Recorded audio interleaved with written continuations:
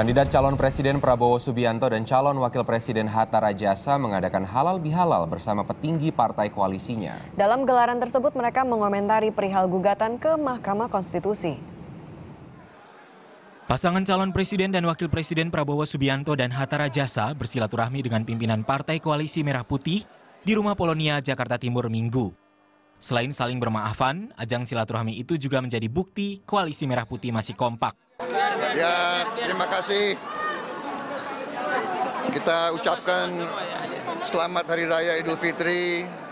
Mohon maaf lahir batin semuanya.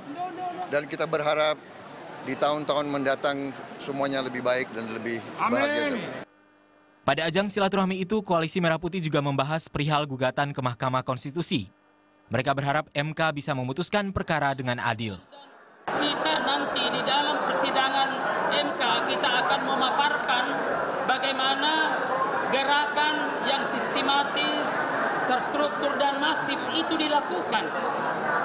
Ya, nanti makanya kami minta, tetapi saya juga minta ini satu hal.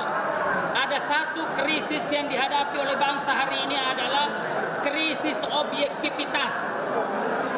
Menghinggapi seluruh ya lembaga-lembaga yang ada termasuk oknum-oknum kaum akademis. Kalah dalam perhitungan suara Komisi Pemilihan Umum tak membuat Prabowo Subianto patah arang. Kamis pekan lalu bersama cawapresnya Hatta Rajasa, mantan Danjen Kopassus itu mengajukan gugatan ke MK.